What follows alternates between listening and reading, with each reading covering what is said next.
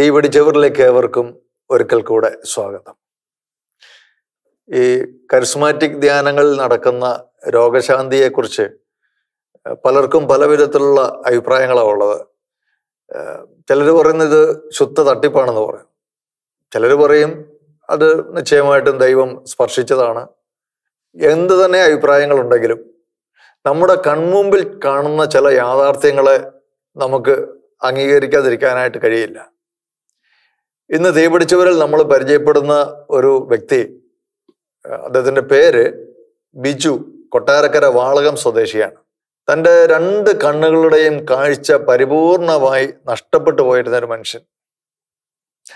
പൂർണമായിട്ടും അന്ധകാരത്തിൽ തപ്പിത്തടഞ്ഞ് നടന്ന് അങ്ങനെ ജീവിച്ചുകൊണ്ടിരുന്ന ഒരു സാഹചര്യത്തിൽ കർത്താവിന്റെ വചനം കേട്ടുകൊണ്ടിരിക്കുമ്പോൾ അത്യത്ഭുതകരമായിട്ട് തന്റെ കണ്ണുകൾക്ക് കാഴ്ച തിരിച്ചു കിട്ടുകയാണ്. ഇത് നമ്മൾ നേരിട്ട് കണ്ട് മനസ്സിലാക്കി അനുഭവിക്കുന്ന ഒരു കാര്യമാണ്. ഇത് വെറുതെ ആരെങ്കിലും എന്തെങ്കിലും പറയുന്നതല്ല. യേശു അന്ധനെ സൗഖ്യമാക്കിയെങ്കിൽ വഴിയരികിൽ ഇരുന്ന് ഭിക്ഷയാചിച്ച ഭർത്തിമായി എന്ന ആ കുരുടനെ കർത്താവ് സൗഖ്യപ്പെടുത്തിയെങ്കിൽ അതേ യേശു കർത്താവ് ഇന്നും ജീവിക്കുന്നു എന്നുള്ളതിന്റെ പ്രത്യക്ഷത്തിലുള്ള ഒരടയാളം ഇന്ന് നമ്മൾ കാണുകയാണ്. നമുക്ക് അദ്ദേഹത്തിന്റെ ജീവിതാനുഭവങ്ങൾ നേരിട്ട് കേൾക്കാം.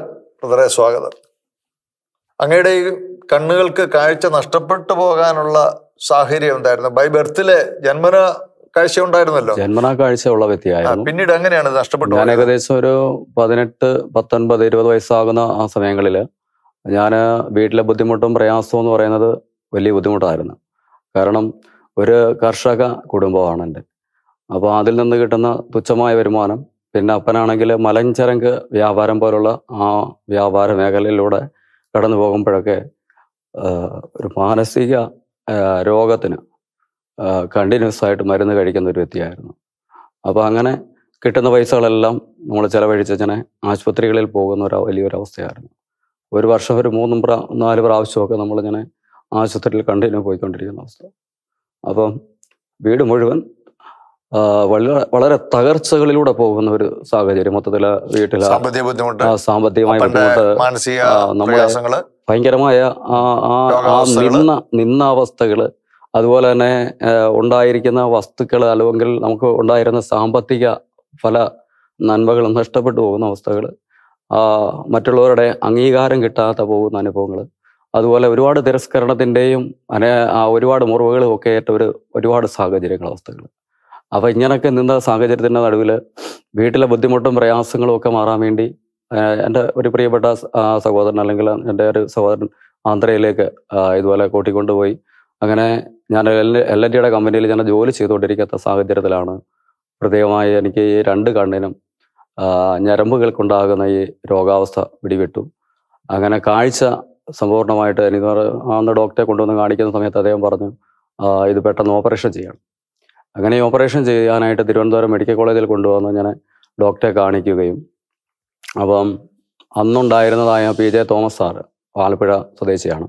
അദ്ദേഹം എന്നോട് പറഞ്ഞു സഹോദര ഇത് ഇവിടങ്ങും ചെയ്തിട്ടിൽ കാര്യമില്ല. എന്നൊക്കെ പറഞ്ഞ് ഒരുപാട് ഡോക്ടർമാരെ ആ സമയത്ത് ആന്ധ്രയിലൊക്കെ ഞാൻ കാണിക്കാ കാണിക്കുന്നുണ്ടായിരുന്നു. അപ്പം അദ്ദേഹം എന്നോട് പറഞ്ഞ് ഇത് ഓപ്പറേഷൻ ചെയ്യണം ഓപ്പറേഷൻ ചെയ്തു. പക്ഷേ ഈ രണ്ട് കണ്ണുകൾക്കും വേണ്ട വിധമുള്ള ഒരു കാഴ്ച എനിക്ക് ലഭിച്ചിരുന്നില്ല. അങ്ങനെ ഞാൻ ആകെ നിരാശനായി. വീട്ടിലെ ബുദ്ധിമുട്ട് പ്രയാസങ്ങൾ ഒരു സൈഡിലെ ചേട്ടന് രോഗാവസ്ഥ അതുപോലെ അമ്മ രോഗാവസ്ഥ അങ്ങനെ കിട്ടുന്ന പൈസകളൊക്കെ ഞങ്ങൾ ഇങ്ങനെ ചോർന്നു പോകുന്ന ഒരവസ്ഥയിൽ ആകെ ശൂന്യമാകുന്ന ഒരവസ്ഥയിൽ എങ്ങും ഒരു സ്വസ്ഥതയും സമാധാനവും കാരണം ആ കാലഘട്ടത്തിൽ അനുഭവിക്കാൻ പറ്റാത്ത രീതിയിൽ ഒന്ന് മാറി ഒന്ന് മാറി ഒന്ന് മാറി വിഷയങ്ങളിൽ ഇങ്ങനെ നിറഞ്ഞു നിൽക്കുന്ന സാഹചര്യത്തിലാണ് കുടുംബം പോറ്റാനായിട്ട് ഞാൻ ഇങ്ങനെ ഇറങ്ങിത്തിരിക്കുന്നത്.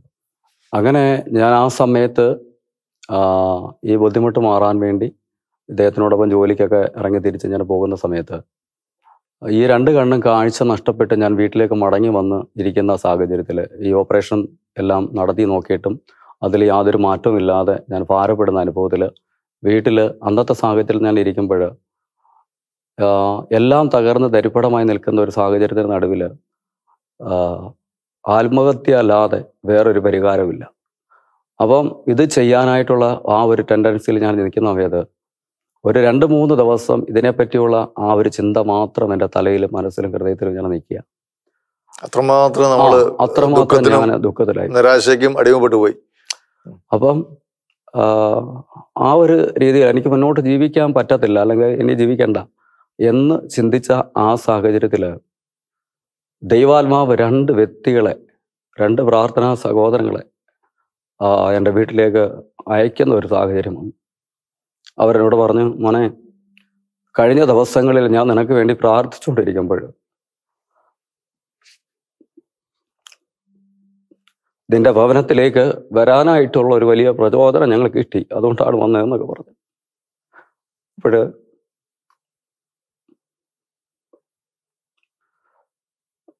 അപ്പോൾ ഞാൻ എന്നോട് പറഞ്ഞ് കർത്താവ് നിന്നെ ഒരുപാട് സ്നേഹിക്കുന്നത് കൊണ്ടാണ് ഇപ്രകാരം ഒരവസ്ഥയിലൂടെ നീ കടന്നു പോകുന്നതെന്ന് പക്ഷേ ആ സാഹചര്യത്തിൽ എനിക്കൊരു അത് അംഗീകരിക്കാൻ പറ്റുന്ന ഒരു കാരണം ഞാൻ ആദ്യമൊക്കെ ഇത് കേൾക്കുമ്പോൾ ഞാൻ പ്രതികരിക്കുന്ന ഒരവസ്ഥയിലേക്ക് എത്തി. പക്ഷെ എന്നോട് പറഞ്ഞ് അല്ല ജീവിക്കുന്ന ഒരു ദൈവം നമുക്ക് കൊണ്ടുപോകണേ ആ ഈ അവസ്ഥയിൽ നിനക്കൊരു മാറ്റം തരാൻ ഒരു ജീവിക്കുന്ന അപ്പൻ ഉണ്ട്.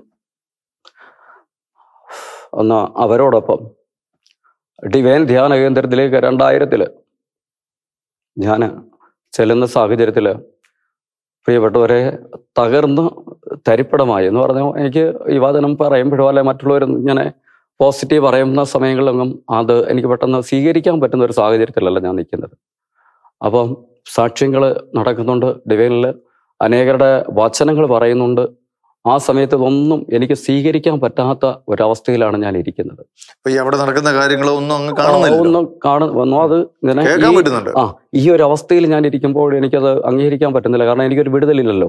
രണ്ട് വീട്ടിലെ ഭാരങ്ങൾ മുഴുവൻ എന്റെ ഹൃദയത്തിലും മനസ്സിലും അത് നിറഞ്ഞു നിൽക്കുന്നത് കൊണ്ട് ഈ പറയുന്നത് എന്റെ ജീവിതവുമായുള്ള ബന്ധത്തിൽ എനിക്കിത് അംഗീകരിക്കാൻ പറ്റുന്ന ഒരവസ്ഥയിലല്ല അവസ്ഥയിലല്ല ഞാൻ ഇരിക്കുന്നത്. അപ്പം എനിക്ക് പറയുന്നുണ്ട് കേൾക്കുന്നുണ്ട് പക്ഷെ എന്റെ ജീവിതത്തും ജീവിതത്തിൽ അത് വരുന്നില്ല വരാത്തതുകൊണ്ട് ഞാൻ അത്രത്തോളം നിന്ന് ഭാരപ്പെടുന്ന ഒരവസ്ഥ അപ്പോൾ എന്നാൽ ഞാൻ വീണ്ടും ഇത് ശ്രദ്ധിച്ചുകൊണ്ടിരിക്കുമ്പോൾ എന്റെ ജീവിതത്തിലേക്ക് മാറ്റിമറിച്ചതായ ഒരു ദൈവത്തിന്റെ ജീവനുള്ള വചനം ആ സമയത്ത് ബഹുമാനപ്പെട്ട പനക്കലച്ചിലൂടെ ഞാൻ കേൾക്കുകയാണ് രക്ഷിക്കുവാൻ കഴിയാതെ വണ്ണം. കർത്താവിന്റെ കരം കൂറുകി പോയിട്ടില്ല. കേൾക്കുവാനാകാതെ വണ്ണം.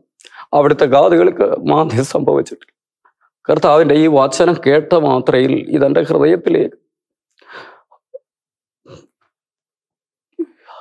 ഒരു വലിയ ഷോക്ക് എന്ന പോലെ എന്റെ ജീവിതത്തിലേക്ക് ഇത് കത്ത് കത്തിക്കയറുകയായി വന്നത് ആ സമയം ഞാൻ ഈ കുഞ്ഞുങ്ങളെ കരയുന്നത് പോലെ എനിക്കറിയത്തില്ല എന്താ ചെയ്യേണ്ടതെന്ന്. ആ രീതിയിൽ എനിക്കൊരു വലിയ ഷോക്ക് എന്റെ മേൽ വന്നിട്ട് ഞാൻ വല്ല കുഞ്ഞുങ്ങളിരുന്ന് കരയുന്നത് പോലെ എന്റെ ജീവിതത്തിൽ വന്നു പോയിട്ടുള്ള വീഴ്ചകൾ കുറവുകൾ ഓർത്തുകൊണ്ട് മാപ്പ് ചോദിച്ചുകൊണ്ട് ഞാൻ പ്രാർത്ഥിക്കുന്ന ഒരവസ്ഥയിലേക്ക് ഞാൻ എത്തി. അപ്പോൾ ഒരു ദിവസമല്ല രണ്ട് ദിവസമല്ല മൂന്ന് ദിവസമല്ല ഇതിങ്ങനെ ഞാനിങ്ങനെ കരയുന്ന ഒരനുഭവം പെട്ടെന്ന്. അപ്പം എന്റെ കൂടെ കൊണ്ടുവന്നിരിക്കുന്ന ആ സഹോദരങ്ങൾ എന്ന് പറയുന്നത് വിജാതീയ സഹോദരങ്ങളാണ്. അവർ പ്രാർത്ഥനയ്ക്കായിട്ട് എന്നെ കൊണ്ടുവന്നത്. അപ്പം ഞാനൊരു നാമതേയ ക്രിസ്ത്യാനിയായി ഭൂമിയിലേക്ക് വന്നിട്ട് യേശുവെ ഞാൻ നിന്നെ അറിഞ്ഞില്ലല്ലോ എന്നുള്ള ഒരു അനുഭവത്തിലേക്ക് ഞാൻ എത്തി. കാരണം ഞാനൊരു ക്രിസ്ത്യാനിയായി ഭൂമിയിലേക്ക് വന്നിട്ടും യേശുവിനെ സത്യസന്ധമായി ഞാൻ അറിഞ്ഞില്ലല്ലോ എന്നുള്ളൊരു കാഴ്ചപ്പാടിലേക്ക് എത്തിക്കഴിഞ്ഞപ്പോൾ ഈ വചനം എന്നോട് സംസാരിക്കുകയാണ് അവൻ രക്ഷിക്കുവാൻ കഴിയാതെ വണ്ണം കർത്താവിന്റെ കരം കുറുകി പോയിട്ടില്ല കേൾക്കുവാനാകാതെ വണ്ണം അവിടുത്തെ കാതുകൾക്ക് മാന്യം സംഭവിച്ചിട്ടില്ല നിന്റെ പാവങ്ങളും അകൃത്യങ്ങളുമാണ് നിന്നെയും ദൈവത്തെയും തമ്മിൽ അകറ്റിയിരിക്കുന്നത് അതുകൊണ്ട് നിന്റെ പ്രാർത്ഥന ദൈവം കേൾക്കുന്നില്ല എന്ന് കേട്ടപ്പോൾ ഞാൻ പെട്ടെന്ന് കർത്താവെ ഞാൻ നാമതേ ക്രിസ്ത്യാനി ഭൂമി ജീവിച്ചിട്ട് എന്റെ പ്രാർത്ഥന ദൈവം കേൾക്കുന്നില്ല എന്നൊരു അവസ്ഥയിലേക്ക് എത്തിയിട്ട് ഞാൻ ആ നിമിഷം കർത്താവിന്റെ മുമ്പിൽ ഇങ്ങനെ പ്രാർത്ഥിക്കുവാൻ തുടങ്ങി. എന്റെ കുറവുകളും ബലഹീനതകളും പാവങ്ങളും ഞാൻ ആ നിമിഷം ഏറ്റു പറഞ്ഞുകൊണ്ട് കർത്താവിനോട് ആ ദിവസങ്ങളെ അനുതാപ ഹൃദയത്തോട് അല്ലെങ്കിൽ ഒരു കുംഭസാരം എന്ന പോലെ ആ കുറവുകൾ ഏറ്റു പറഞ്ഞുകൊണ്ട് ദിവസത്തിൽ പാപ്പ് ചോദിച്ചുകൊണ്ട് പറയാർത്ഥിക്കുവാൻ തുടങ്ങി കഴിഞ്ഞപ്പോൾ ഒരു വ്യാഴാഴ്ച ദിവസം ഞാൻ കാണുന്നത് ദിവ്യകാരനെ എടുത്തു വെച്ച് അച്ഛൻ അവിടെ ശുശ്രൂഷയ്ക്ക് എല്ലാവരും കരങ്ങൾ ഉയർത്തി പ്രാർത്ഥിക്കുവാനായിട്ട് പറയുന്ന ആ സമയത്ത്. ഈ ഇടയ്ക്ക് ചോദിക്കട്ടെ ഈ വചനം ഹൃദയത്തെ സ്പർശിച്ചു. നമുക്കൊരു അനുതാപമൊക്കെ ഉണ്ടായി. ജീവിതത്തിൽ വന്ന തെറ്റുകളും കുറ്റങ്ങളെ കുറിച്ചൊക്കെ നമുക്ക് മനസ്സിലാക്കാൻ സാധിച്ചു. ആ- ആ- സമയത്ത് അല്ലെങ്കിൽ അതിനോട് അടുത്തുള്ള ആ സമയങ്ങളിലൊക്കെ പിന്നീട് എന്തെങ്കിലും മാറ്റങ്ങൾ ഉണ്ടാവുകയോ സൗഖ്യം കിട്ടുകയോ അങ്ങനെയുള്ള അത് ഞാൻ- പറയാൻ വരുന്നത്. അപ്പൊ ആ ആരാധനയെ എഴുന്നള്ളി വെച്ച് ആരാധന സമയത്ത് ഞാൻ നടക്കുന്ന സമയത്ത് അച്ഛൻ ഇങ്ങനെ പറയുകയാണ് എല്ലാവരും കരങ്ങൾ ഉയർത്തി സ്തുതിച്ച് പ്രാർത്ഥിക്കുവാനായിട്ട് ആവശ്യപ്പെടുകയാണ്. അപ്പോൾ ഞാൻ എനിക്ക് അന്നേരം ഈ സ്തുതിയോ മറ്റേ ആരാധനയെ പറ്റിയോ ഒന്നും എനിക്ക് നല്ല ബോധ്യമോ ഞാൻ ആദ്യമായിട്ടാണ് ഞാൻ ധ്യാനത്തിലേക്ക് പങ്കെടുക്കുന്നത്. അപ്പോൾ അതുകൊണ്ട് എനിക്കും അതിനെ പറ്റിയൊന്നും വലിയ ബോധ്യമൊന്നുമില്ല. എന്നാൽ ഈ രണ്ട് കരങ്ങളും ആ നിമിഷം ഉയർത്തിപ്പിടിച്ച് ഞാൻ സ്തുതിച്ച് പ്രാർത്ഥിക്കുവാൻ തുടങ്ങുന്ന സമയത്ത് എന്റെ ശരീരം മുഴുവൻ ഐസ് കട്ട നിറയുന്നത് പോലെ ഞാൻ തണുക്കുവാൻ തുടങ്ങി. കാരണം ഒരു ചൂട് അന്തരീക്ഷത്തിന്റെ ഒരവസ്ഥയിലാണ് ഞാൻ ഇടവേൽ ചെല്ലുന്നത്. പക്ഷേ എന്റെ ശരീരം മുഴുവൻ ഐസ് കട്ട നിറയുന്നത് പോലെ തണുക്കുവാൻ തുടങ്ങി. ഇത് ശരീരം മുഴുവൻ അലിച്ച് ഞാൻ ഇറങ്ങിക്കൊണ്ടിരിക്കുന്ന സമയത്ത് എന്റെ ഹൃദയത്തിലുള്ള ചിന്താഭാരങ്ങൾ ആകുലതകൾ അസ്വസ്ഥതകൾ നിരാശകൾ അതുവരെ എന്നെ അടിമപ്പെടുത്തി വെച്ചുകൊണ്ടിരുന്ന ചില നെഗറ്റീവ് എനർജികൾ ആ നിമിഷം എന്നിൽ നിന്ന് അപ്രതീക്ഷമാകുന്നത് ഞാൻ അനുഭവിക്കും എന്റെ ശരീരത്തിൽ. പെട്ടെന്ന് എന്റെ മനസ്സിലും ഹൃദയത്തിലും വലിയൊരു ആത്മീയ സന്തോഷം ഞാൻ ഞാൻ അനുഭവിക്കുക. എന്തോ ഒരു വലിയ സന്തോഷം ഉള്ളിൽ നിന്ന് വരികയാണ്. ഈ സമയത്ത് എനിക്ക് ഭയങ്കര ആനന്ദം ഉണ്ടാകുന്നുണ്ട്. അപ്പം ഞാൻ കണ്ണുകൾ അടച്ച് ദൈവമേ ഇതൊന്നും എനിക്ക് മനസ്സിലാക്കാൻ പറ്റുന്നില്ലല്ലോ എന്ന് പറഞ്ഞുകൊണ്ട് വീണ്ടും കരങ്ങൾ ഉയർത്തി ഞാൻ പ്രാർത്ഥിക്കുന്ന സമയത്ത് ഞാൻ എന്റെ ആന്തരിക കണ്ണുകൾ കൊണ്ട് കാണുകയാ എന്റെ ശരീരത്തിലേക്ക് ഒരു പ്രാവ് വന്ന് ഇറങ്ങുന്നതായിട്ട്. വീണ്ടും ഞാൻ കണ്ണുകൾ ഭർത്താവ് എന്താണ് എനിക്കൊന്നും മനസ്സിലാകുന്നില്ലല്ലോ എന്ന് പറയുമ്പോൾ അച്ഛൻ സ്റ്റേജിൽ നിന്നുകൊണ്ട് വിളിച്ചു പറയുന്നു ബിജു എന്ന പേരായ ഒരു മകനെ കർത്താവ് തൊട്ട് സുഖപ്പെടുത്തുന്നു. പ്രിയപ്പെട്ടവരെ അങ്ങനെ ഞാനിത് കേൾക്കുന്നു. ഞാൻ അടുത്ത നിമിഷം മുതൽ പറയുന്ന ഒരു കാര്യം കർത്താവെ ജീവിക്കുന്ന ഒരു സത്യദൈവം ഉണ്ടെങ്കിൽ ആ സത്യദൈവത്തെ എനിക്കിപ്പോൾ മനസ്സിലാക്കണം എനിക്കൊന്ന് തിരിച്ചറിയണം എനിക്ക് അവനെ ഒന്ന് ആരാധിക്കണം. ഇതാണ് എന്റെ മനസ്സിലെ ആഗ്രഹം. അങ്ങനെ ഞാൻ വിശ്വാസപൂർവം ഒരു രണ്ട് മൂന്ന് മിനിറ്റ് ഉള്ളിൽ കൊണ്ട് ഇങ്ങനെ പ്രാർത്ഥിച്ചുകൊണ്ടിരിക്കുമ്പോൾ ഞാൻ കാണുന്ന ഒരു രംഗം എന്റെ ആന്തരിക കണ്ണുകൾ കൊണ്ട് കാണുന്ന ഒരു രംഗം എന്ന് പറയുന്നത് കർത്താവ് ക്രൂശിൽ കടന്നുകൊണ്ട് ഇതാ മാനവരാശിയുടെ മുഴുവൻ പാവങ്ങളും ഏറ്റെടുക്കുന്ന ആ സീനറി ആന്തരിക കണ്ണുകൾ കൊണ്ട് ആ നിമിഷം ഇങ്ങനെ കാണുമ്പോൾ എന്റെ യേശുവേ എന്ന് പറഞ്ഞ് ഞാൻ ഞാനൊരു അവബോധാവസ്ഥയിൽ തളർന്ന് ഇരിക്കുന്ന ഒരവസ്ഥയിൽ എന്റെ ഉള്ളിലേക്ക് ഒരു സ്വരം വരികയാണ് മോനെ നിന്റെ പാവങ്ങൾക്ക് വേണ്ടിയാണ് ഞാൻ ക്രൂശിൽ മരിച്ചത് എന്ന്. പ്രിയപ്പെട്ടവരെ പിൽക്കാലത്ത് ഞാൻ കാണുന്ന വചനം പഠിക്കുന്നപ്പോൾ അവിടെ പറയാണ് റോമാലേഖനം അഞ്ചാം അധ്യായത്തിന്റെ ആറ് ക്രിസ്തുവോ നാം ഭാവികളായിരിക്കെ അവിടുന്ന് തക്ക സമയത്ത് നമുക്ക് വേണ്ടി മരിച്ചു. അങ്ങനെ ദൈവം നമ്മോടുള്ള സ്നേഹം അവിടുന്ന് ക്രൂശിലൂടെ പ്രകടമാക്കിയിരിക്കുന്നു എന്ന്. ആ വലിയ സ്നേഹം അന്ന് എനിക്ക് അനുഭവിക്കാൻ കഴിഞ്ഞു. എന്നാൽ ഞാൻ പിന്നെ എന്റെ ഉള്ളിൽ ഒരു പ്രേരണ ഇങ്ങനെ വരുന്നത്. അപ്പം ഞാൻ ഡിവൈനി കുറച്ച് നാൾ നിൽക്കാനൊക്കെ ഇടയായി തീർന്നു ഒരു പ്രേക്ഷിത അവസ്ഥയിൽ അങ്ങനെ കുറച്ച് നാൾ കുറച്ച് നാൾ അവിടെ നിൽക്കുന്ന സമയത്തൊക്കെ എന്നെ സമയത്ത് അങ്ങയുടെ ശരീരത്തിന് പ്രത്യേകിച്ച് കണ്ണുകൾക്ക്. എന്തെങ്കിലും വ്യത്യാസം വന്നോ? കണ്ണുകൾക്ക് പെട്ടെന്ന് വ്യത്യാസം വന്നതല്ല. എന്നാൽ അവിടെ നിന്ന് വചനമൊക്കെ കേട്ട് കുറെ കഴിഞ്ഞപ്പോൾ പ്രാർത്ഥനയിലൂടെ കർത്താവ് വ്യത്യാസം വരുത്തി. എന്റെ കണ്ണുകൾക്ക് പൂർണമായി എന്ന് പറഞ്ഞാൽ ഒരു ദിവസം കൊണ്ട് സംഭവിച്ച കാര്യമല്ല. എന്നാൽ കുറച്ച് ഞാൻ പിന്നെ പ്രാർത്ഥിച്ച് ദൈവം ദൈവത്തിലേക്ക് വന്നു കഴിഞ്ഞപ്പോൾ ആ അവിടെ ജോയ്ക്കുട്ടി ബ്രദർ അതുപോലെ അനേകം ആളുകൾ എന്നെ കണ്ടിട്ട് പറഞ്ഞു ബ്രദറെ നിങ്ങളെ ഒരുപാട് കർത്താവ് സ്നേഹിക്കുന്നുണ്ട്. നിങ്ങളെ ഒരു ദൈവ ശുശ്രൂഷയ്ക്ക് വേണ്ടിയാണ് ദൈവം ഒരുക്കിക്കൊണ്ടിരിക്കുന്നത്. അതുകൊണ്ട് പ്രാർത്ഥിച്ച് അതിനുവേണ്ടി ഒരുങ്ങിക്കൊള്ളാൻ പറഞ്ഞു. അങ്ങനെയൊക്കെയുള്ള ആളുകൾ വന്നിട്ട് എന്നോട് പറയുകയുണ്ടായി. അപ്പോഴും കണ്ണിന് കാഴ്ചയില്ല. അമരം കണ്ണിന് വ്യത്യാസമുണ്ട്. കണ്ണിന് പഴയതിൽ നിന്ന് വ്യത്യാസമുണ്ട്. എന്നാൽ പിന്നീട് ഞാൻ ഈ സുവിശേഷത്തിന് വേണ്ടി ഒരു സമർപ്പണം എന്റെ ഭാഗത്തുനിന്ന് വന്നപ്പോഴാണ് കർത്താവ് അതിനെ ഒരു ചേഞ്ച് ലെവലിലേക്ക് കൊണ്ടുവന്നത്. അതെങ്ങനെയാണ്? ശരിക്കും നല്ലതുപോലെ കാഴ്ച തെളിഞ്ഞു കിട്ടിയ അനുഭവം എങ്ങനെയാ ഉണ്ടായത്? അത് അത് സുവിശേഷത്തിന് വേണ്ടി ഒരു മുൻതൂക്കം കൊടുക്കണം. സുവിശേഷം മറ്റുള്ളവരോട് പറയണം. അല്ലെങ്കിൽ കർത്താവിന് വേണ്ടി സാക്ഷി ആയി നിൽക്കണം എന്നുള്ള ഒരു ചിന്ത മനസ്സിൽ വന്നിട്ട്. ഞാൻ അന്ന് ഞങ്ങളുടെയൊക്കെ സമയ സമൂഹങ്ങളിൽ അന്ന് കാരണം എല്ലാ സഭാ വിഭാഗങ്ങളും കൂടി പോകുന്ന ഒരു കൂട്ടായ്മകൾ പലതുണ്ടായിരുന്നു അപ്പോൾ അവിടെയൊക്കെ ചെന്നിരുന്ന് കർത്താവിന് വേണ്ടി സാക്ഷ്യം വഹിക്കുക അല്ലെങ്കിൽ കൊടുക്കുക അവരോട് ദൈവോചനം പറയുക അങ്ങനെ കൂടി ചേർന്ന കൂട്ടായ്മകളൊക്കെ വന്ന് അങ്ങനെ പ്രാർത്ഥിക്കുന്ന സമയങ്ങളിലൊക്കെ എന്റെ കണ്ണുകളിലേക്ക് പ്രകാശം അല്ലെങ്കിൽ അഭിഷേകം കടന്നു വന്നിട്ട് സ്ഥിതിക്ക് വ്യത്യാസം കർത്താവ് തരാൻ തുടങ്ങി. അങ്ങനെയാണ് പിന്നെ പിന്നെ പിന്നീട് ഞാൻ ജോലിയോടൊപ്പം ഞാൻ ടാപ്പിംഗ് ചെയ്യുമായിരുന്നു. അല്ലെങ്കിൽ മറ്റ് കൃഷി ജോലികളൊക്കെ ചെയ്യുമായിരുന്നു. വീട്ടിലെ കാര്യങ്ങളൊക്കെ നോക്കി മുന്നോട്ട് പോവുകയും ഈ മാതാപിതാക്കളെ ശുശ്രൂഷിക്കുക അതോടൊപ്പം ശുശ്രൂഷ ചെയ്ത് മുന്നോട്ട് വരികയൊക്കെ ചെയ്യുന്ന ഒരു അവസ്ഥയുണ്ടായിരുന്നു. കാരണം സ്വന്തമായിട്ട് അന്ന് വീടോ മറ്റു കാര്യങ്ങളോ ഒന്നും ഇല്ലായിരുന്നു ആകെ തകർന്നു നിൽക്കുന്ന അനുഭവത്തിൽ കർത്താവ് ആ വേലയ്ക്ക് വേണ്ടി ഇറങ്ങി അന്ന് ഞാൻ കാട്ടാക്കട തിരുവനന്തപുരം അങ്ങനെയൊക്കെയുള്ള പ്രദേശങ്ങളിലേക്ക് ഞാനും എന്റെ കൂടെയുള്ള സഹ ശുശ്രൂഷകർ ഒരുമിച്ച് ഞങ്ങൾ ഇതിനെ ലഘുലേഖകൾ കൊടുക്കുക പിന്നെ അതുപോലെ വസ്ത്രങ്ങൾ കൊണ്ടു കൊടുക്കുക ചില ഇതുപോലുള്ള ചേരി പ്രദേശങ്ങളിലേക്ക് പോയിട്ട് കർത്താവിന്റെ ശുശ്രൂഷകൾ ചെയ്യുക. അങ്ങനെയൊക്കെയുള്ള ചില ചില കാര്യങ്ങളൊക്കെ ചെയ്തുകൊണ്ടിരിക്കുന്ന സമയത്ത് അങ്ങനെയാണ് ആദ്യം എന്റെ തുടക്കം ശുശ്രൂഷയിലേക്ക് വരാനുള്ള കാരണം. ഈ കണ്ണിന്റെ കാഴ്ച ശരിക്കും നൂറ് ശതമാനവും നമുക്ക് പിന്നീട് തിരിച്ചു കിട്ടിയോ? ഇപ്പോഴ് ഒരു ചെറിയ അടയാളം എന്ന പോലെ വലത് കണ്ണിന് ഇപ്പോഴും ഒരു ഇതുണ്ട്. അത് പൂർ- പൂർണമായിട്ടില്ല. എന്നാൽ അത് പൂർണമാ എന്ന് പറഞ്ഞാൽ ഞാൻ പലപ്പോഴും ചിന്തിക്കും അത് എന്തുകൊണ്ടായിരിക്കും? എന്നാൽ അനേകം ആളുകൾ എന്നോട് പറയുന്നത് പൗലോസിന് ഒരു എന്താ പറയുന്നത് ഒരു മുള്ളുണ്ടായിരുന്നു. അത് കർത്താവിന് വേണമെങ്കിൽ അത് എടുത്തു മാറ്റാമായിരുന്നു. പക്ഷേ ആ, ജീവിതത്തിൽ അങ്ങനെ ഒരു അവസ്ഥ ഉള്ളത് എന്തുകൊണ്ടാന്ന് വെച്ചാൽ അത് കർത്താവിനെ കൂടുതലായി അറിയാനും ഇനി നിങ്ങൾ ഇങ്ങനെ പോകുമ്പോൾ ഒരു പക്ഷേ എല്ലാവരും അത് അംഗീകരിക്കണമെന്നില്ല എന്ന് പറയുന്ന ആൾക്കാരുണ്ട്. പക്ഷെ അത് കർത്താവിന്റെ ഒരു കൃപയായി അതിനെ കാണണമെന്ന് പറഞ്ഞ ആളുകളുണ്ട്. അപ്പം ഞാൻ അങ്ങനെ അതിനെ സ്വീകരിച്ച് മുന്നോട്ട് പോകുന്നു.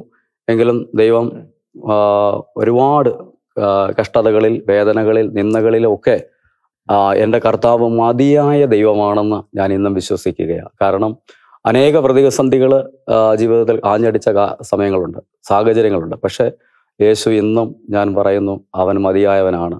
അതുകൊണ്ട് ആ യേശുവിന്റെ മുഖത്തേക്ക് നോക്കി യേശുവിനെ വിളിച്ച് യേശുവിന്റെ ചേർന്ന് നിന്ന സമയത്ത് ജീവിതത്തിൽ എന്തൊക്കെ നഷ്ടപ്പെട്ടിട്ടുണ്ടോ അതൊക്കെ ജീവിതത്തിലേക്ക് കർത്താവ് മടക്കി അയക്കുന്ന അവസ്ഥ. സമാധാനം കൊണ്ട് കർത്താവ് കുടുംബത്തെ നിറയ്ക്കുന്ന അനുഭവം സന്തോഷം കൊണ്ട് നിറയ്ക്കുന്ന അനുഭവം ഇങ്ങനെ നഷ്ടപ്പെട്ടു പോയിട്ടുള്ള നന്മകളെ കർത്താവ് നമ്മളിലേക്ക് എന്ന് പറഞ്ഞാൽ ദൈവരാജ്യം എന്നാൽ ഭക്ഷണവും പാനീയമല്ല പ്രത്യുത നീതിയും സമാധാനവും പരിശുദ്ധാത്മാവിലുള്ള ഒരു ഒരു സന്തോഷമാണെന്ന് അനുഭവിക്കുന്നത്. അത് അന്നും ഇന്നും പ്രാർത്ഥിക്കുമ്പോൾ ദൈവം എനിക്ക് കൂടുതലായിട്ട് അത് മനസ്സിലാക്കി തരുന്നുണ്ട്. അതുപോലെ മണിക്കൂറുകളോളം കർത്താവിന്റെ മുമ്പിൽ ഒരു വിശുദ്ധ കുർബാനയുടെ മുമ്പിൽ സഭയ്ക്കും സമൂഹത്തിനും ദൈവരാജ്യത്തിനും വേണ്ടി പ്രാർത്ഥിക്കാനുള്ള ഒരു തീഷ്ണത കർത്താവ് ഇന്നും അത് തന്നുകൊണ്ടേയിരിക്കുന്നു. അതോടൊപ്പം കർത്താവിന് വേണ്ടി ഞാൻ ശുശ്രൂഷയുമായുള്ള ബന്ധത്തിൽ ഈ മുഴുവൻ സമയം ശുശ്രൂഷയിലേക്ക് ഇറങ്ങാനുള്ള തീരുമാനം അങ്ങനെയാണ് എടുത്തത്? അതായത് നമുക്ക് എന്തെങ്കിലും അതിനു മുമ്പ് പല ജോലികളും ഒക്കെ ചെയ്തുകൊണ്ടിരുന്നല്ലോ. അപ്പൊ അപ്പോൾ ജോലിയോടുള്ള ഒരു ബന്ധത്തിൽ നിന്നുകൊണ്ട് ശുശ്രൂഷ ചെയ്യുന്നതല്ല കുറച്ചുകൂടെ കരണീയമെന്ന്. തോന്നിയില്ലായിരുന്നു? ആ, അല്ല അത് ആ സമയങ്ങളിൽ അന്ന് ദൈവം അപ്രകാരമാണ് നിശ്ചയിച്ചത്. എന്നാൽ ഇപ്പോൾ അതല്ല. ഫുൾ ടൈമറായിട്ട് തന്നെ കർത്താവിന് വേണ്ടി ശുശ്രൂഷ ചെയ്യണം എന്നുള്ള ഒരു കാഴ്ചപ്പാട് വരാനുള്ള കാരണം എന്ന് പറയുന്നത് ഞാൻ കൊട്ടിയത്ത് എന്റെ ഒരു സഹോദരൻ പ്രിയപ്പെട്ട ജലസ് ബ്രദറിലൂടെയാണ് അങ്ങനെ ഒരു പ്രേരണ എനിക്ക് വരുന്നത് കാരണം അദ്ദേഹം അന്ന് അവിടെ പ്രയർ ടവറിൽ ഏകദേശം ഒരു വൈകുന്നേരം രാവിലെ ഒൻപത് മണി മുതൽ വൈകുന്നേരം ഒരു അഞ്ച് മണി വരെ ഇരുന്ന് പ്രാർത്ഥിക്കാനുള്ള ഒരു അവസരം അദ്ദേഹം തരികയും അന്ന് എനിക്ക് വേറെ ഒരു മാർഗമില്ലാത്തത് കൊണ്ട് വൈ സപ്പോർട്ടായിട്ട് എനിക്കൊരു മാസ സാലറി തന്നുകൊണ്ട് ആ ശുശ്രൂഷയിലോട്ട് എന്നെ അദ്ദേഹമാണ് ഇറക്കിയത്. അങ്ങനെ ഇന്ന് കർത്താവിന് വേണ്ടി ഒരു ഫുൾ ടൈമറായിട്ട് മുന്നോട്ട് പോകുവാനായിട്ട് നാലഞ്ച് ആറ് ഏഴ് വർഷം കൊണ്ട് സാധിക്കുന്നുണ്ട്. ഈ കൊറോണയുടെ സമയത്തും വളരെ ബുദ്ധിമുട്ടുന്ന ഒരു വളരെ സാഹചര്യങ്ങൾ ഉണ്ടായപ്പോഴും വിശുദ്ധ കുർബാനയുടെ മധ്യത്തിൽ അച്ഛനോടൊപ്പം ഇരുന്ന് പ്രാർത്ഥിക്കുമ്പോൾ അനേകം ആളുകളും എന്ന് പറഞ്ഞാൽ ഞാൻ വളരെ ബുദ്ധിമുട്ടുന്ന അനുഭവങ്ങൾ അറിയാം. പക്ഷേ ദൈവമക്കളാകുന്ന അനേകരുടെ കരങ്ങളിലൂടെ എന്റെ ജീവിതത്തിന്റെ ഞാൻ വേദനിച്ച് പോകുന്ന അനുഭവങ്ങൾ അറിയാവുന്ന ആൾക്കാർ വിളിച്ചിട്ട് ഒരുപക്ഷെ നാളെ എനിക്ക് ആവശ്യം ഗ്യാസിനായിരിക്കാം അല്ലെങ്കിൽ വേറെ എന്തെങ്കിലും ആവശ്യങ്ങളായിരിക്കാം. പക്ഷെ അതെല്ലാം ദൈവം തന്നെ അത് മറ്റു കരങ്ങളിലൂടെ തന്നെ അല്ലെങ്കിൽ ദൈവത്തിന്റെ ആ ഒരു ഇടപെടിയിൽ മുഖാന്തരം വ്യക്തികളിലൂടെ അത് ദൈവം എന്നെ ഒരുപാട് ആ അവസ്ഥകളിൽ കരുതുന്ന ഒരു ദൈവം ഉണ്ടെന്നുള്ള ആ ഒരു ലെവലിലേക്ക് എനിക്ക് കയറാനായിട്ട് അല്ലെങ്കിൽ ജീവിതത്തിലെല്ലാം കർത്താവ് കരുതി വെച്ചിട്ടുണ്ടെന്നുള്ള ആ ഒരു ലെവലിലേക്ക് കയറാനായിട്ട് ദൈവം എന്നെ സഹായിച്ചായിരുന്നു. കാരണം ദൈവം ഒരിക്കലും നമ്മളെ കൈവിടുന്നവനല്ല. അവൻ വിശ്വസ്തയോടെ നിന്നാൽ ഏലിയായിക്ക് ദൈവം ആഹാരം കൊടുത്തതുപോലെ പ്രിയപ്പെട്ടവരെ ഈ കാലഘട്ടത്തിലും ദൈവത്തെ സ്നേഹിക്കുന്ന തന്റെ മക്കൾക്ക് വേണ്ടി ദൈവം ഒരുക്കിയിരിക്കുന്നവ ഒരു കണ്ണ് കണ്ടിട്ടില്ല ഒരു ചെവി കേട്ടിട്ടില്ല ഒരു മനുഷ്യ ഹൃദയത്തിലും തോന്നിയിട്ടില്ലാത്ത കാര്യങ്ങൾ ഈ കാലഘട്ടത്തിലും ദൈവത്തിന്റെ മക്കൾക്ക് ദൈവം തരാനായിട്ട് ദൈവം കൊതിയോടെ കാത്തിരിക്കുന്നതായിട്ട് എനിക്ക് മനസ്സിലാക്കുവാൻ ഈ കഴിയുന്നത് ബ്രദറിന്റെ ഈ കണ്ണിന്റെ കാഴ്ച ഇപ്പൊ ഏകദേശം ഒരു തൊണ്ണൂറ് ശതമാനത്തോളം ഇപ്പൊ ഉള്ളൂ. അതെ അതെ ഈ എവിടെങ്കിലും ഒറ്റയ്ക്കൊക്കെ യാത്ര ചെയ്യാനായിട്ടുള്ള പ്രയാസങ്ങളൊക്കെ അങ്ങനെയൊക്കെയുള്ള ബുദ്ധിമുട്ടുകൾ ഒരുപാടുണ്ട്. എങ്കിലും കർത്താവ് ഇപ്പോഴും നടത്തി മുന്നോട്ട് പോകുന്നുണ്ട്. ഒരുപാട് ബുദ്ധി രാത്രിയിലൊക്കെ ആയി കഴിഞ്ഞാൽ വലിയ പാടാണ്. എന്നാൽ പകൽ സമയങ്ങളിൽ മാത്രം മറ്റേത് രാത്രി എന്റെ കൂടെ സഹകരിക്കുന്ന ആളുകൾ അല്ലെങ്കിൽ എന്നെ മനസ്സിലാക്കുന്ന ആളുകൾ എന്റെ കൂടെ വരികയും അവരെന്നെ സഹായിക്കുകയും ചെയ്യുന്ന ഒരവസ്ഥയിലാണ് ഇതുവരെ എന്നെ നടത്തിക്കൊണ്ട് പോകുന്നത്.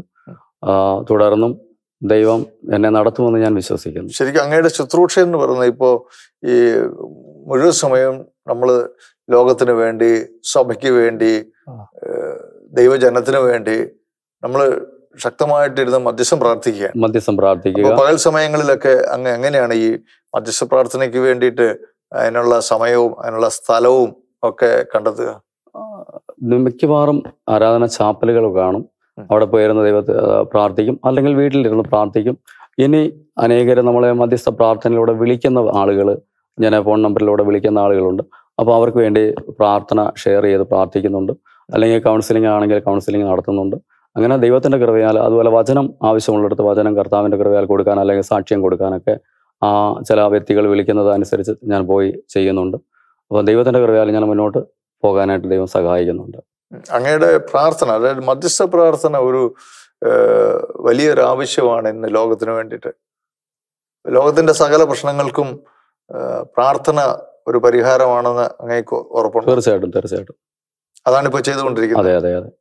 ആ പ്രാർത്ഥനയ്ക്കുള്ള റിസൾട്ടുകൾ അങ്ങ് കാണുന്നുണ്ടോ? ഒരുപാട് ഒരുപാട് ഒരുപാട്.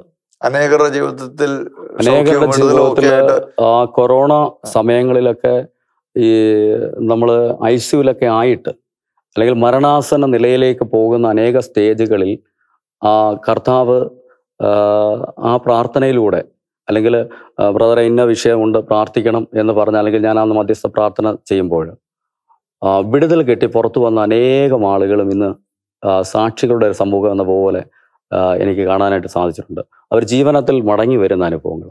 കാരണം ഈ ഐ സിയിൽ പോയി എന്ന് പറഞ്ഞാൽ കൊറോണ വന്നു നിമോണിയ വന്നു അപ്പം ഒന്നും പ്രതികരിക്കുന്നില്ല. ഓക്സിജൻ കൊടുത്തു നോക്കുന്നുണ്ട്. മറ്റ് മര മെഡിസിനുകളൊക്കെ കൊടുത്തു നോക്കിയിട്ട് അത് പ്രതികരിക്കാത്ത ആളുകൾ അങ്ങനെയുള്ള സ്റ്റേജുകളിൽ എത്തിയിട്ട് അവരെന്നോട് പറയാറുണ്ട് വെറുതെ പ്രാർത്ഥിക്കണേ എന്ന് പറഞ്ഞു. അപ്പോൾ ഞാൻ ആ നിമിഷം ദിവ്യകാരണി ആരാധനയുടെ മുമ്പിലും ഇരുന്ന് മുട്ടുകുത്തി പ്രാർത്ഥിക്കുന്നു. ശക്തമായ പ്രാർത്ഥനയെല്ലാം കഴിഞ്ഞ് ഒരു മണിക്കൂർ കഴിയുമ്പോൾ എന്നെ വിളിച്ചു പറയുക ബ്രദറെ ഇപ്പോൾ മുതൽ എന്റെ വപ്പായ്ക്ക് കൊടുക്കുന്ന ഓക്സിജൻ ആയാലും മെഡിസിൻ ആയാലും അത് പ്രതികരിക്കാൻ തുടങ്ങുന്നു എന്ന് പറയുന്ന സ്റ്റേജുകൾ ഒരുപാട്. അങ്ങനെ ഒരുപാട് വിഷയങ്ങൾ. അതുപോലെ ക്യാൻസറുകൾ മാറിയ ഒരുപാട് വിഷയങ്ങൾ. അങ്ങനെ ഒരുപാട് ആൾക്കാർക്ക് ഇന്ന് രോഗശാന്തി വിടുതലൊക്കെ കർത്താവ് കൊടുക്കുന്ന ഒരു അനുഭവത്തിലേക്ക്. അത് എന്റെ ആ, സ്വന്തം കഴിവോ എന്റെ മെടുക്കോ അല്ല കർത്താവിന്റെ ദാനമാണെന്ന് അങ്ങയുടെ ഈ കുടുംബ അനുഭവത്തിലേക്ക് വന്നാൽ അപ്പനും അമ്മയും ഒക്കെ നിരന്തരമായിട്ട് ഇങ്ങനെ ആശുപത്രി കയറി ഇറങ്ങുന്ന ഒരു അനുഭവം ഉണ്ടായിരുന്നല്ലോ.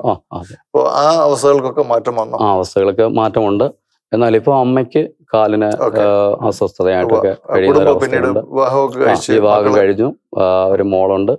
ഇപ്പോൾ അവൾ പത്താം ക്ലാസ്സിൽ ആയി. അങ്ങനെ ഭാര്യയ്ക്ക് ജോലിയൊന്നുമില്ല. അങ്ങനെ ഒരവസ്ഥയിൽ മുന്നോട്ട് സന്തോഷകരമായിട്ട് സമാധാനത്തോടെ ജീവിതം മുന്നോട്ട് പോകുന്നു. ജീവിതം മുന്നോട്ട് പോകുന്നുണ്ട്. എന്നാൽ ഈ- ശുശ്രൂഷയിലേക്ക് ഇറങ്ങിയതിന് ശേഷം നമ്മൾ ഈ പറയുമ്പോൾ അത് വലിയൊരു സഹനത്തിലൂടെ തന്നെയാണ്. ഈ ശുശ്രൂഷ ചെയ്ത് മുന്നോട്ട് തന്നെ പോകുന്നത് ഓരോ ദിവസവും. കാരണം നല്ല പോരാട്ടങ്ങളിലൂടെ തന്നെയാണ് ഈ ശുശ്രൂഷയിലൂടെ. അത് തീർച്ചയായിട്ടും അത് ഈ ശുശ്രൂഷയുടെ മേഖലയിലൂടെ കടന്നു പോകുന്നവർക്ക് എല്ലാവരുടെയും ജീവിതത്തിൽ ഉണ്ട്. ഏറെയും കുറഞ്ഞും പല വിധത്തിലും അതൊക്കെ ഉണ്ടാവുമല്ലോ. നമുക്കൊരു സ്പിരിച്വൽ വാർഫെയർ എപ്പോഴും നമ്മൾ പ്രതീക്ഷിച്ച് വേണമല്ലോ മുന്നോട്ട് പോകാനായിട്ട്. എപ്പോഴും എപ്പോഴും ഉണ്ട്. അപ്പൊ തീർച്ചയായിട്ടും അതിനെല്ലാം അതിജീവിക്കാനുള്ള ഒരു വലിയ കരുത്ത് ദൈവം നമുക്ക് തരുന്നു എന്നുള്ളതാണ്. തീർച്ചയായിട്ടും. പഴയ നിയമത്തിൽ ദൈവജനത്തെ ഏഹ്, ചെങ്കടൽ വിഭജിച്ച് അതിന്റെ നടുവിലൂടെ നടത്തിയെങ്കിൽ പുതിയ നിയമത്തിൽ നമ്മൾ കാണുന്നത് കടലിന് മുകളിലൂടെ പത്രോസിനെ നടത്തിയ ഒരു ദൈവത്തെ. നമ്മൾ തീർച്ചയായിട്ടും. ഇപ്പൊ നമ്മളെ മുക്കിക്കളയും നമ്മളെ തകർത്ത് കളയും നമ്മളെ ഇല്ലാതാക്കി കളയും എന്നൊക്കെ തോന്നുന്ന ആ പ്രശ്നങ്ങളുടെ അതിന്റെ മുകളിൽ കൂടെ കർത്താവ് നമ്മളെ നടത്തി നമ്മളെ യഥാർത്ഥ ലക്ഷ്യത്തിലേക്ക് കർത്താവ് കൊണ്ടുപോവുകയാണ്. തീർച്ചയായിട്ടും. തീർച്ചയായിട്ടും ബ്രദറായ കർത്താവ് അങ്ങേ ധാരാളമായിട്ട് ഇനിയും വളരെ ശക്തമായിട്ട് ദൈവം മുന്നോട്ട് നടത്തട്ടെ. അങ്ങയുടെ പ്രാർത്ഥനയിലൂടെ ശുശ്രൂഷകളിലൂടെ അനേകർ വിടുവിക്കപ്പെടട്ടെ അനേകർ അനുഗ്രഹിക്കപ്പെടട്ടെ. ഏത് പ്രതിസന്ധികളെയും അതിജീവിക്കുവാനായിട്ട് കർത്താവ് കൂടെ ഉണ്ടെന്നുള്ള ആ ഒരു ഉറപ്പും ബലവും എനിക്കറിയാം അങ്ങയുടെ ശുശ്രൂഷകൾ അനേകർക്ക് പ്രയോജനപ്രദമായി തീരുന്നത്.